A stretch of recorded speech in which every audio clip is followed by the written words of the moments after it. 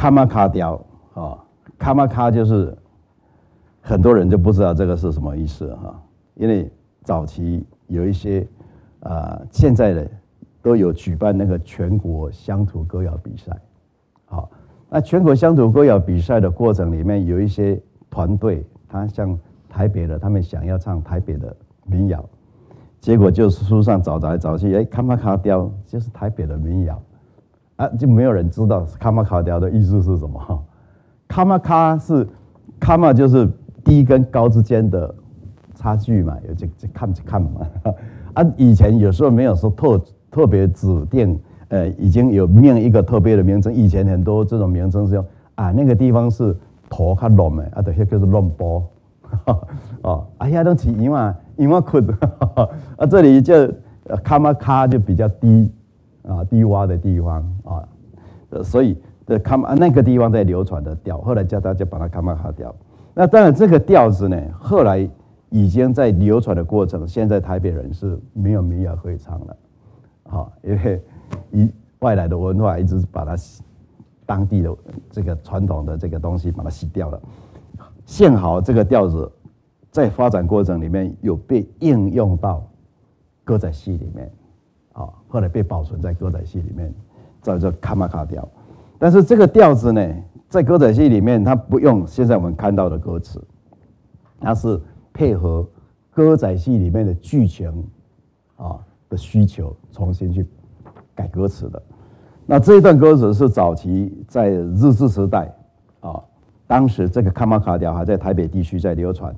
啊，那好几段了，我就列了一段给大家做参考哈。我们先来念一下卡玛卡条这个歌词，它这个是用四句七言诗来写的，就是每一段歌词有四个句子，每一句有七个字为原则。啊啊，我们来念一下啊，一日吃饱无头路。要做生意倒一道，想要少年乌鸟某，来去公园青草坡。好，这个时候就是为什么我们从 我们经常讲说，从一条一首歌里面，你可以去了解那当时的一个文化背景啊，当时这个。公园青草坡就是后来那个我们讲的新公园，现在二二八公园那个地方啊。那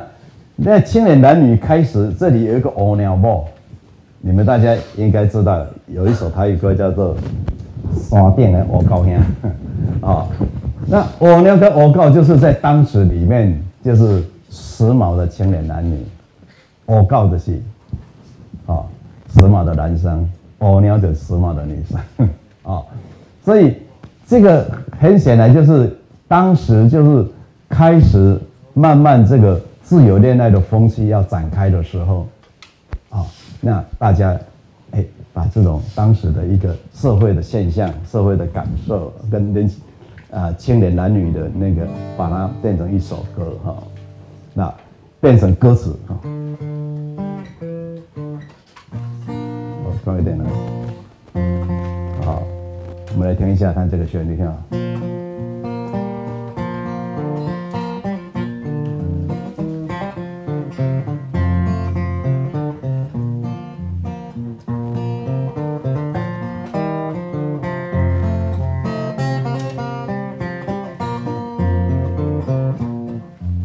歌还算是蛮轻松的一个民谣。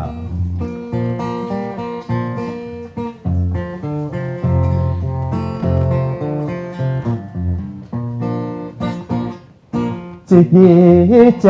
饱无头路，要做生意多一道。想要少年乌鸟无，来去讲青草坡。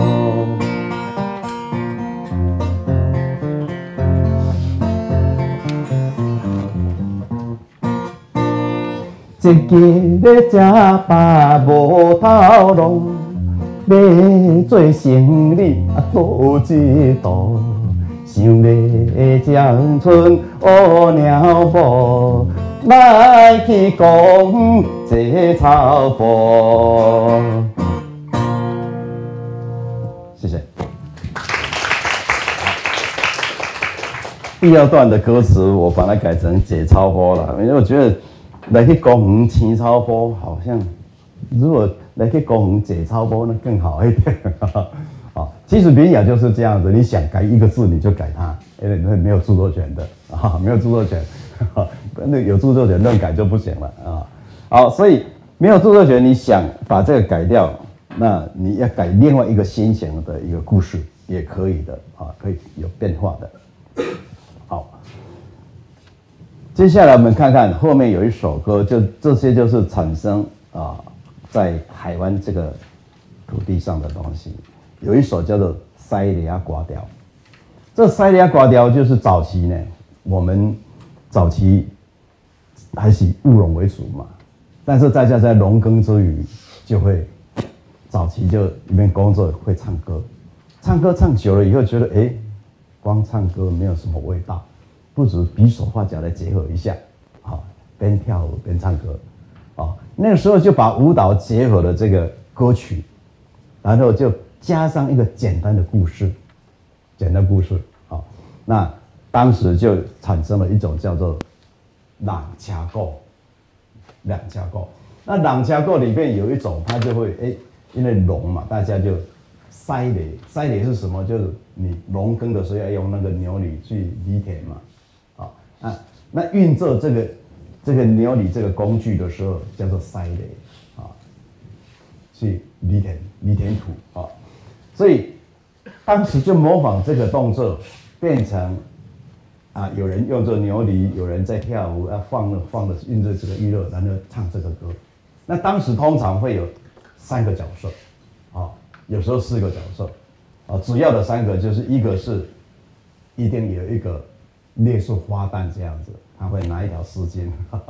啊，他通常就是演那个小故事是演什么？其实这个故事里面，你也可以感觉到台湾历史发展的过程里面，哦，早期当时原住民在这里的时候，在平地是平埔族，哦，那唐山过台湾的汉人来了以后，其实早期因为有都是啊，当时那个满清政府有限制。女人来，所以都是等双工，我等双嘛。来的是年轻人呢，就是罗汉咖，还没有结婚。后来到了适婚的年龄的时候，跟平埔族在平地的原住民平埔族结婚。其实早期来是当长工，来这里耕作，帮原住民的田地耕作的啊。后来因为被遭罪以后，就变成跟原住民整合起来嘛。那原住民比较不懂得耕作，所以。这些汉人来以后被招赘以后，就呃擅长于这个耕作。最早来是当长工，所以原住民的，尤其是平埔族的女孩子，有时候跟爱上了这些啊从中国来的这个年轻人，于是就用这个角色去演，就是一个长工，一个姑娘，啊，然后有时候这个员外这个地主参与啊，然后这三角的关系去。去自己去填歌词唱出来，啊，那这个当然后来慢慢的，哎，各种不同的形式在变化的时候，这个呃用的这个调子呢，当然有很多，像比较常听到是当当当当当叮啊当啊当当当当叮嘞当当当叮当啊当当当，这个是卡高调，但是这个是特别用在这塞里的部分哈，这个也是很特殊的一个调子哈。那我我来唱给大家听看看啊，就塞里亚瓜调，好，这个歌调，所以早期呢，这个载歌载舞的歌调的民谣里面呢，通常都是充满了这种节奏跟喜悦啊那种感觉啊。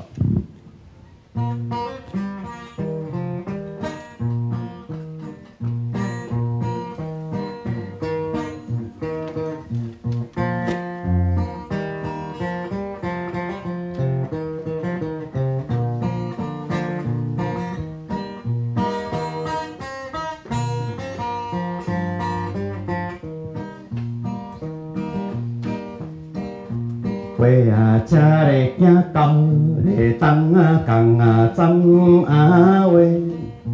水啊落咧无好，就花啊，顶啊，东啊话，水啊落咧连好，咧两啊三声，小妹啊出门，人过啊过啊顶啊话。那爱摇啊，你倒西啊咧啊话；那爱摇啊，你对我是西咧啊话；那爱摇啊，你对我叫小妹啊话。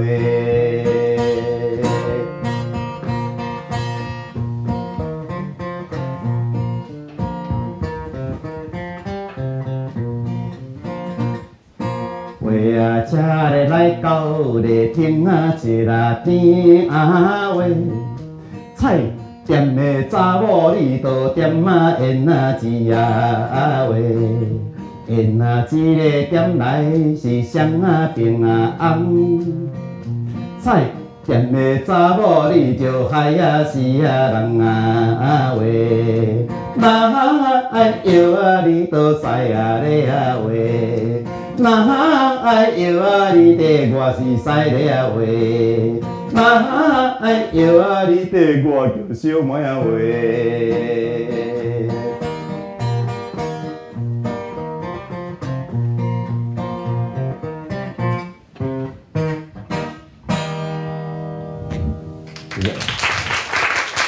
好，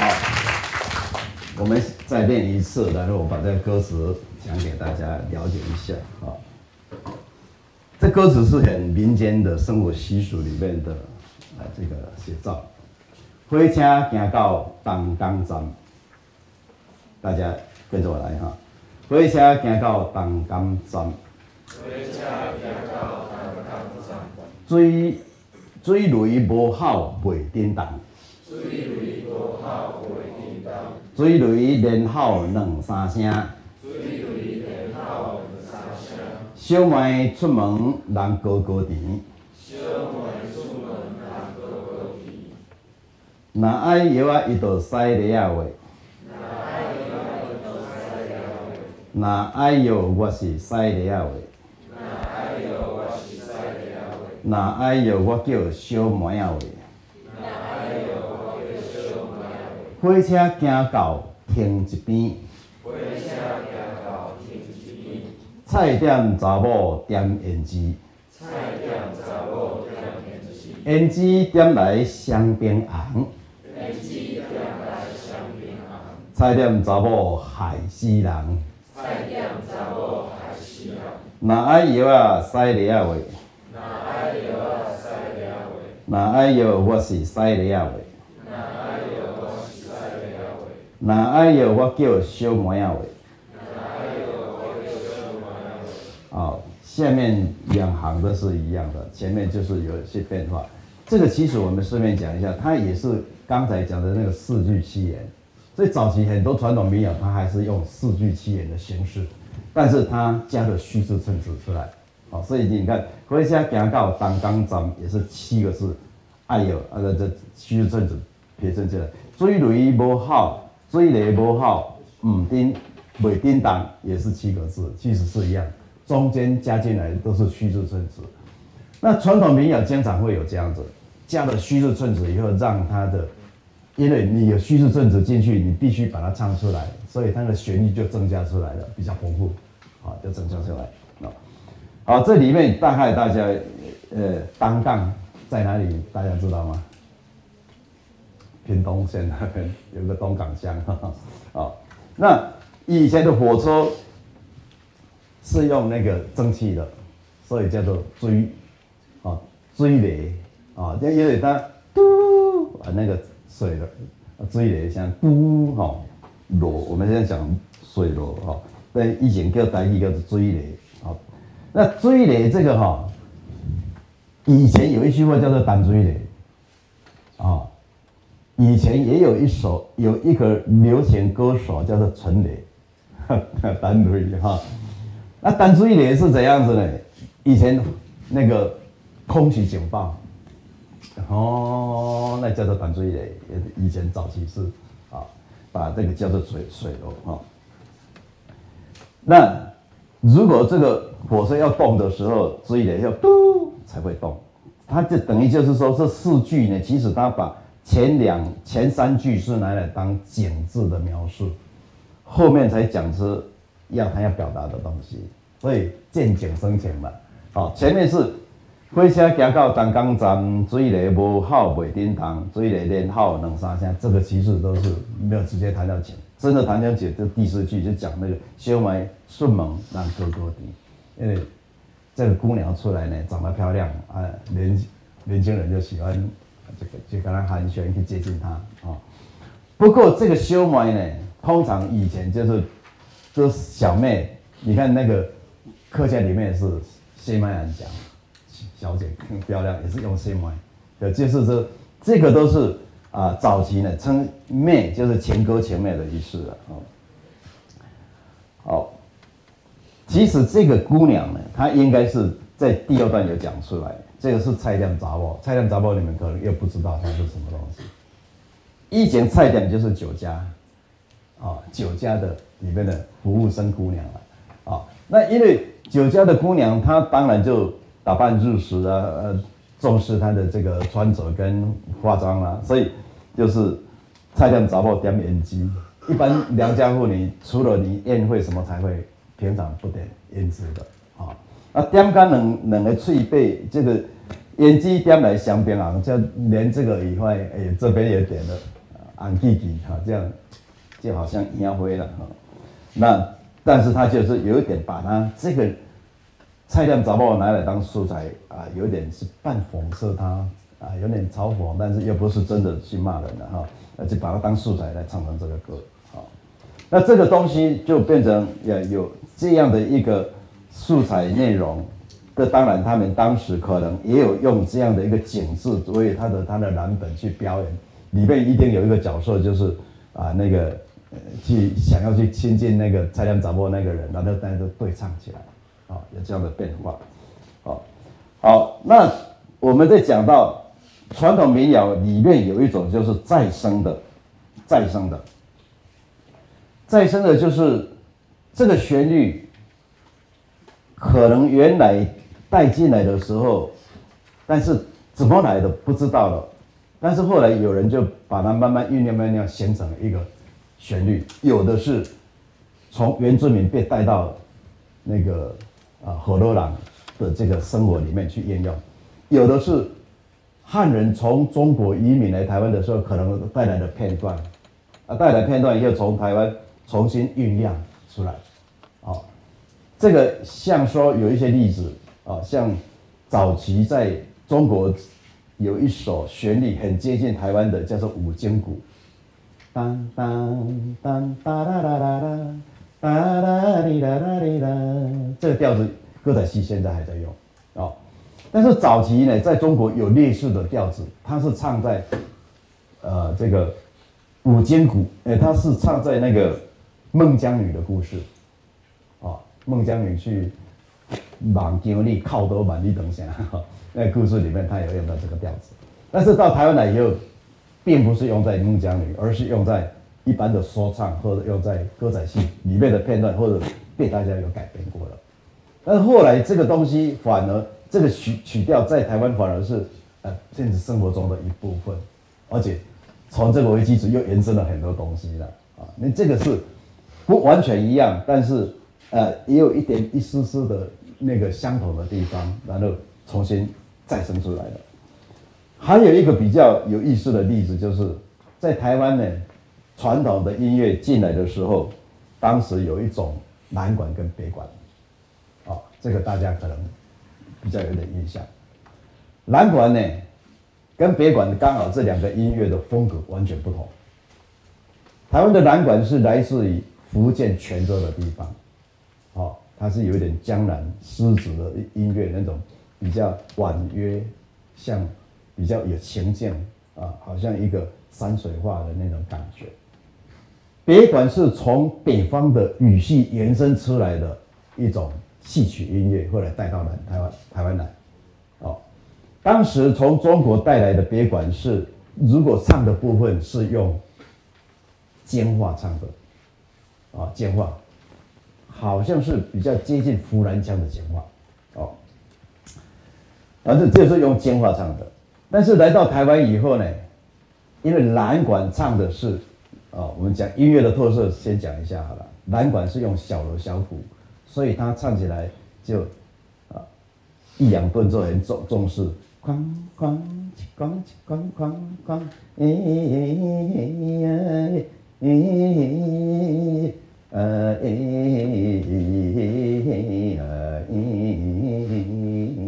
噔噔噔噔噔，哐哐哐，它是比较细致的。好，北管是用那个大锣大鼓，如果你有看过。广告的话，以前那个有一个，呃，这个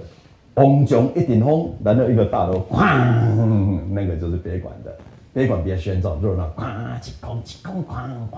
哈，所以后来别管发展到后来的时候，经常也被一些布袋戏拿去应用。布袋戏的话，如果是打斗的话，你用蓝管就没有气势，用别管，哐起哐起咚，哐哐哐，哦，反正感觉上很喧噪，很热闹，哦。所以蓝管因为是用泉州话，泉州话跟我们现在民间所谓的慢慢酝酿形成的所谓叫做火罗维亚写大意，其实很接近的，好，只是几个音有不同。像说陈磊有有唱那个人生爹爹，他没有唱爹爹，人生得得得得就是爹爹的意思啊。那泉州话就是得得，像这个力。咱讲我你，啊也讲我的路路，然后是路，它的鼻音比较重，好，所以但是大家听得懂，所以南管一直在台湾的流转过程，从几百年前到了台湾来，一直就没有改变，还是用泉州音在唱，好，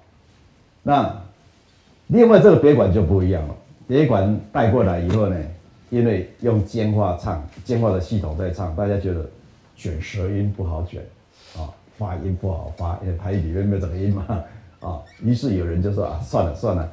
哪个家改成台语来请二了，就改成台语去唱它。好，那结果就产生了一些质变。刚刚我们有提到了，语言会影响到音乐旋律的风格的形成。当他用尖话唱的一种风格。但他改成用台语去唱的时候，又产生不同的特色了，哦，那当然，一般学术界的人他讲讲法跟我现在讲稍微有一点点不同。我是比较喜欢根据民间艺人来讲，根据民间艺人来讲才有他的意涵好，那很多学者他是读了书，他有的根本没有去做田野调查的，啊，他也不知道民间怎么说法，他就书里面。中国的书怎么想，那就照中国的书这样讲，啊，所以我会觉得说，如果一些传统的东西，你你如果根据传统那种老艺人他的说法，他有他的意义在里面，他们就讲说啊，嘿吼，用京话唱的嘿吼，啊，伊拢讲音较标准吼，啊，大家就讲应该你自称为讲我就叫做正音嘛，正音，这是正式标记的，但是。这些很多人他就把它唱成台语啊，哦，还有那个唱模仿正音的唱的，就是乱唱乱弹，然后笑一讲乱弹乱乱弹乱弹，啊，乱唱乱弹。但是后来有一句话呢，假吧假三斩，看一看乱弹。好，就你吃猪肉的话，吃五那个呃那个瘦肉肥肉那个三斩吧是最好吃的。如果要看戏。啊，还是唱的话，你就要听那个懒弹才听得懂，因为懒弹用台语起嘛，啊，那正音的有时候他尖话唱的不准，啊，所以这个当时就无形中产生了这一句话：假吧假三转，跨戏跨懒弹，啊，那这里有一首歌就是懒弹里面的饮酒歌，啊，这个歌呢就充满了这种啊悲观的风味，啊，那这个。呃，我们这个中心呢，希望说中间还是休息一下啊，休息一下，让大家去呃方便一下，或者是让我喝一点水，啊，所以我们休息十分钟再回来唱这一首歌啊。